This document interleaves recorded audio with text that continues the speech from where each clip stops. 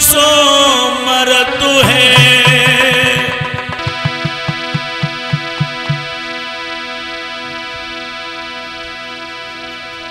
कछु धीर दिल में दीजिए।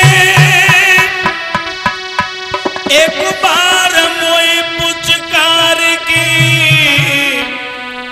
मुझसे प्यार मैया कीजिए। मैया अब मैं बच नहीं पाऊँगा। मेरे सारे बदन में धैर्य फैल गया है। मैया तारावती के लगी रोहिता से ऐसे ना बोलो। ऐसे मत बोलो। कि बेटा जा दुखिया मैया को।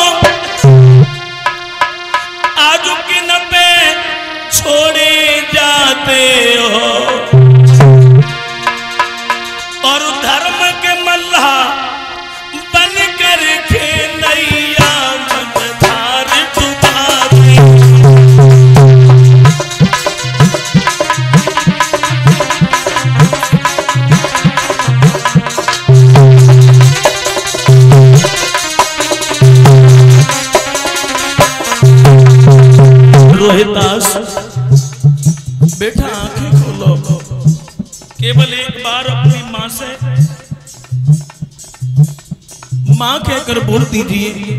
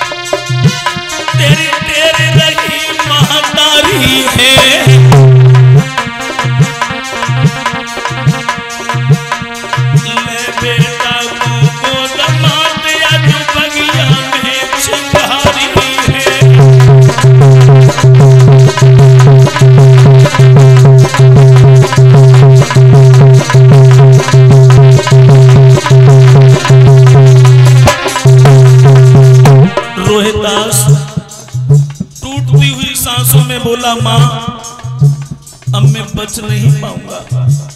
मैया, मेरे पिता से जाकर मेरी प्रणाम कह देना।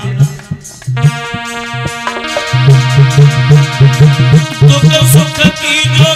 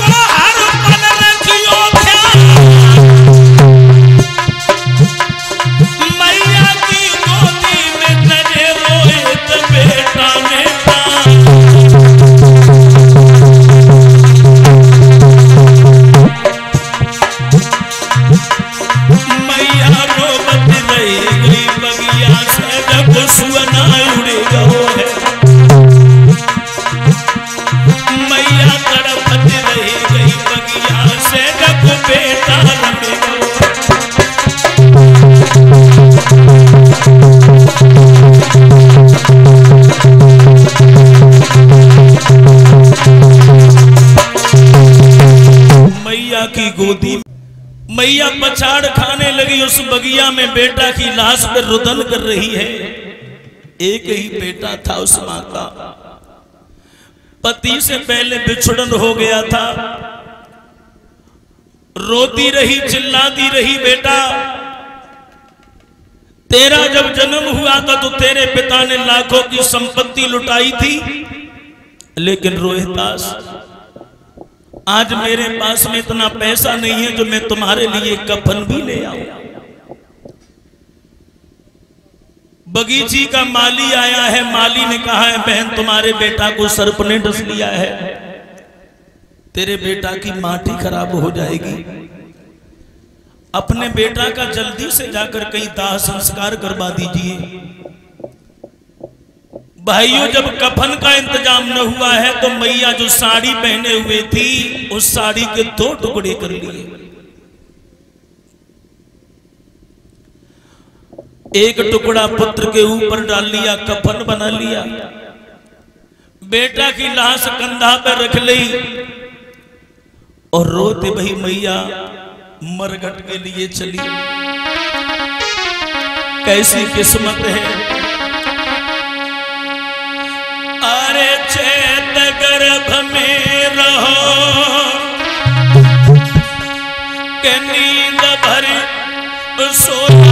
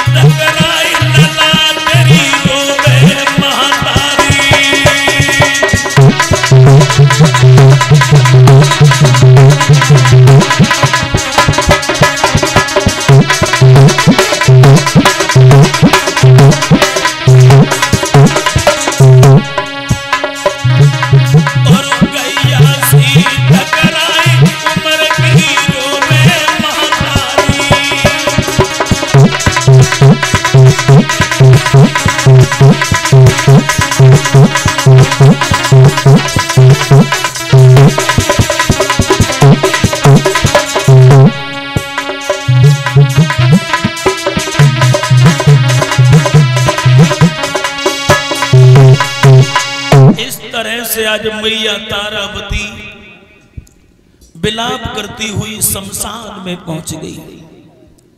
आधी रात्रि का वक्त है और शमशान में जब रोने की आवाज़ महाराज हरिश्चंद्र ने सुनी तो महाराज हरिश्चंद्र ने आवाज़ लगाई, कौन है जो रात्रि के वक्त शमशान में रो रहा है? अयोध्या नरेश महाराज हरिश्चंद्र की पत्नी तारावती। और हरिश्चंद्र ने जैसे ही अपना नाम सुना, तारावती का नाम सुना तो दौड़ते हुए आए तारा। क्या हुआ? शमशान में तुम कैसी आई? मेरा पुत्र तो ठीक है। और भाइयों, जैसे पुत्र का नाम लिया, मैया तारावती ने वही साड़ी का टुकड़ा पुत्र के मुँह से हटा दिया। आज महाराज ने जैसे अपने बेटा की लाश देखी तो लठिया हाथ से छूट गई, ज़मीन पर गिर पड़े। तारा क्या हुआ? मेरा बेटा रोहितास भी चला गया। रोहितास को क्या हुआ? तारावती बोली, महाराज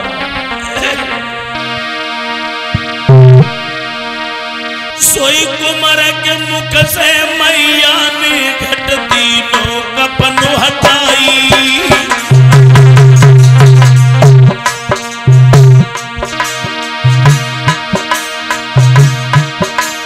और हरिश्चंद्र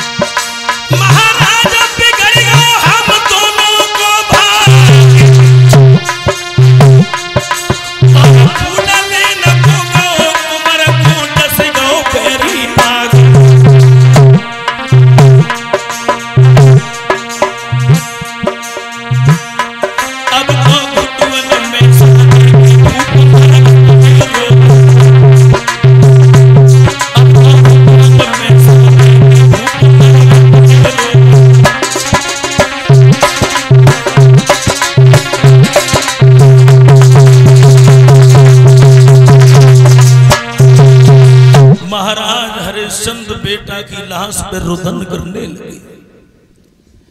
ये कैसा धर्म है, ये कैसा पुण्य है, पुण्य में पाप हो गया। मेरा बेटा भी चला गया। राजा रानी दोनों पुत्र की लाश पर रुदन करते रहे, उसके बाद में हरिश्चंद्र बोले, तारावती अब जी कर क्या करेंगे?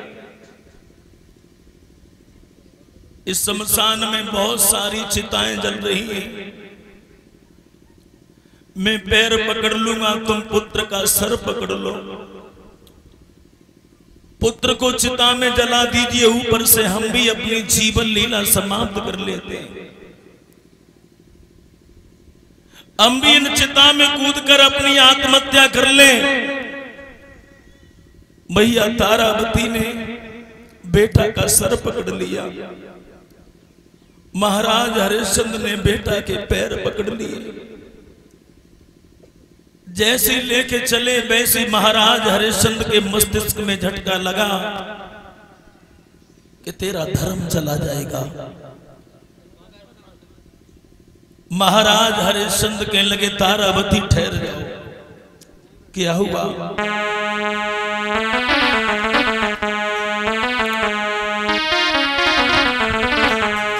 महाराज हरिश्चंद्र कहने लगे, तारावती कि जिस धर्म के पीछे राज गया और हम बिक गए तीनों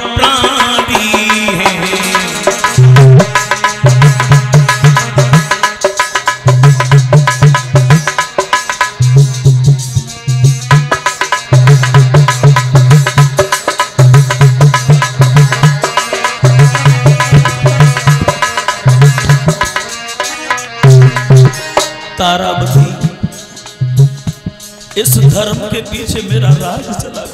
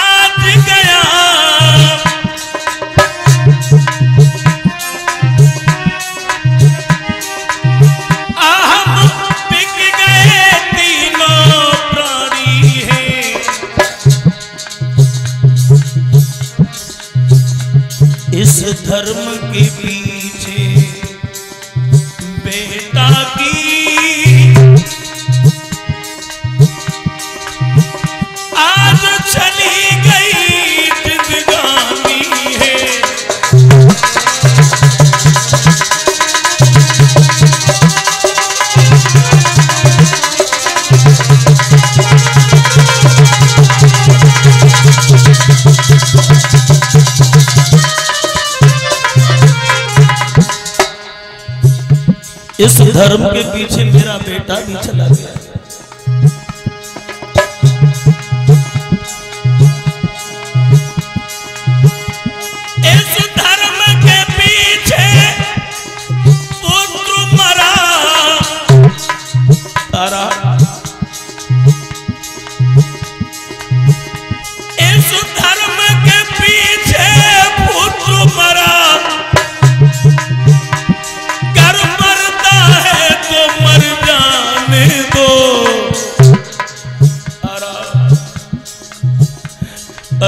धर्म बचा है।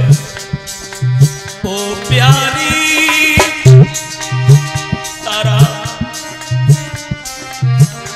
अभी धर्म बचा है।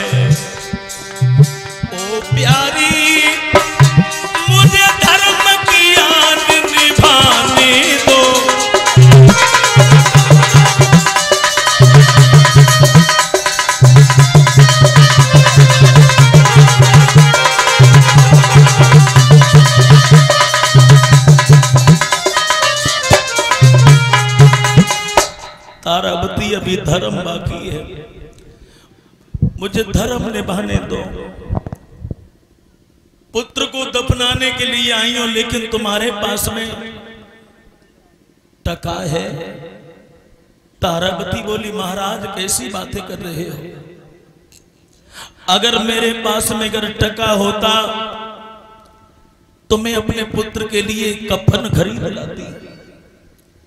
हरिश्चंद कहने लगे तारावती मेरे मालिक का आदेश है। तुम्हारे पास जब तक टका नहीं होगा, तब तक मैं तुम्हारे बेटा को दफना नहीं सकता। तारावती बोली, महाराज, कैसी बातें कर रहे हो? ये बेटा मेरा है, तुम्हारा नहीं है? हरिश्चंद बोले, ये बेटा मेरा था, लेकिन अब नहीं है। वो दिन याद करो तारा, मैंने तुमसे कहा लेकिन तुम पंडितानी बन गई। तारा के बिरथा लाश धरे मर घट में। रोई रही तारा नारी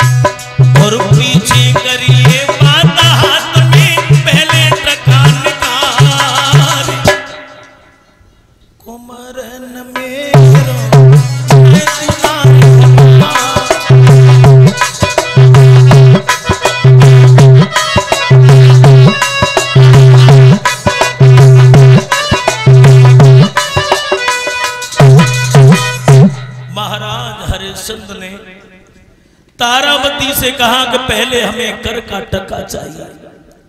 तारावती बोली, महाराज, मेरे पास में केवल ये साड़ी का टुकड़ा बचा है। हरिश्चंद्र कहने लगे, तारा, धर्म बचाने के लिए ये साड़ी का टुकड़ा हमें दे दो। साड़ी का टुकड़ा भी छीन लिया, महाराज हरिश्चंद्र ने। रात में मैया चली विचार करने लगी, रात में मैं कहा जाऊँ?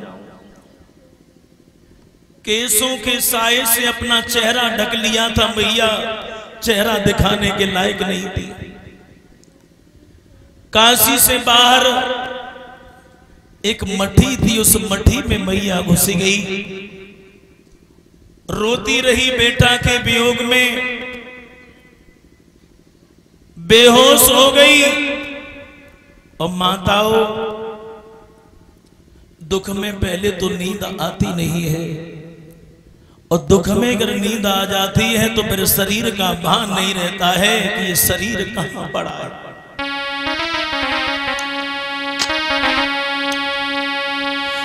अरे दुख की मारी मात,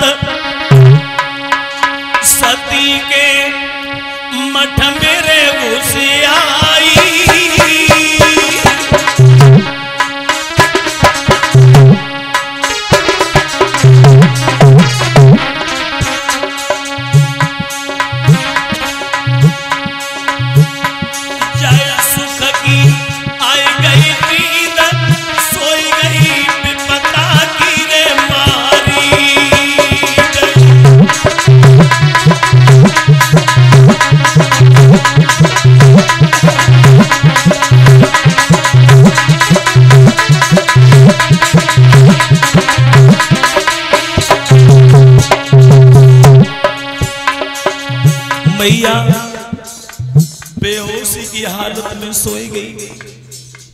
बछलिया विश्वामित्र ने रोहितास के शरीर से थोड़ा मांस निकाल लिया मैया के चेहरा से खून लगा दिया और मैया के पास में मांस रख दिया।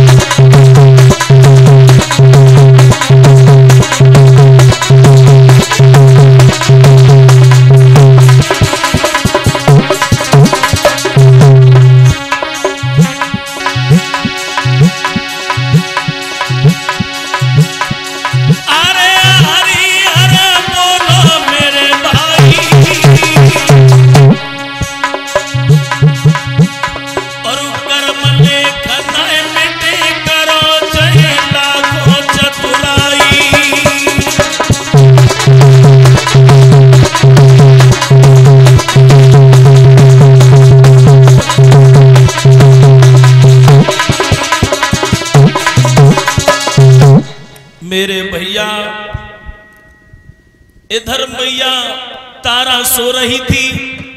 बछलिया विश्वामित्र ने आबाद लगाई काशी की गलियों में काशी वासियों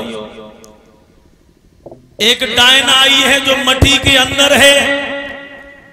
न मालूम कितने बच्चे खा चुकी। सभी चल के उस डायन का कत्ल कर दे। और काशी नगरिया में जब आबाद लगाई तो लंबी भीड़ जुड़े आई। चारों लंग से मठी को घेर लिया। कुछ लोगों ने कहा, एक काम करो, जो कालू के यहाँ पर हरिया नाम का जल्लाद है, जो मरघट में रहता है, उसी जल्लाद के हाथों से इस डायन का वध करवाओ। कालू ने हरिया से कहा, हरिया तुम एक डायन का कत्ल करना है। और महाराज हरिश्चंद्र ने जो सुना तो पैरों के तले धरती के सक गई। मैंने आज तक किसी चीठी का बद नहीं किया। सारा शरीर कपने लगा, लेकिन सोचने लगे, अगर मना करता हूँ तो मेरा धर्म चला जाएगा। लड़खड़ाते हुए हाथ में कटारी ले ली। महाराज हरिश्चंद्र को जब ले जाया गया तो मठी के अंदर देखा बई मैया तारावती अरे चंद के लगे, तारावती तुम? हाँ स्वामी। अरे चंद बच्चों को खाने लगी, मैया रोने लगी, महाराज, मैंने किसी के बच्चे को नहीं खाया। मैंने तो डायन बन के अपने बच्चे को ही खाया है, मैंने किसी को नहीं खाया। मैं निर्दोष हूँ, मैंने किसी बच्चे का बद नहीं किया। अरे संत बोले तारावती माफ़ कर देना। धर्म का पालन करना मेरा कर्तव्य है। नेत्र बंद करके महाराज हरिश्चंद्र ने जैसी तलवार मारनी चाहिए, वैसे भगवान चतुर्भुजी रूप धारण करके प्रकट हो गए। कलाई पकड़ ली, ठहर जाओ महाराज। तुम धन्य हो। तुम्हारे जैसा धर्मवीर, तुम्हारे जैसा दानवीर कोई नहीं हो सकता। विश्वामित्र भी आ गए। महाराज, मैं तुम्हारी परीक्षा ले रहा था, हरिश्चंद्र। तुम्हारे जैसा सत्यवादी कोई नहीं है। हरिश्चंद्र, वरदान मांग लो। महाराज, हरिश्चंद्र के आँखों से आँसू के पनारे बह रहे थे। रो रहे थे, महाराज। हरिश्चंद्र बोले, मुझे कुछ नहीं चाहिए, महात्मा जी। मेरी पत्नी से पूछ लो। तारावती से कहा बेटी, तू कुछ मांग ले। तारावती बोली, बाबा, मेरा बेटा आपने डस लिया मेरे बेटा को जीवन दान दे दो। विश्वामित्र बोले, तुम्हारा बेटा कहीं नहीं गया। आवाज़ लगाओ। रोहितास को आवाज़ लगाई है तो रोहितास दौड़ता हुआ आया, मैया की गोदी में बैठ गया। विश्वामित्र बोले, बेटी, फिर भी मांग ले कुछ। तारावती बोली, महाराज, मुझे कुछ नहीं चाहिए। देना चाहते हो तो केवल एक चीज़ दे दीजिए। कि स्वामी, इतनो दीजिए। जामे मेरा कुटुंब समाई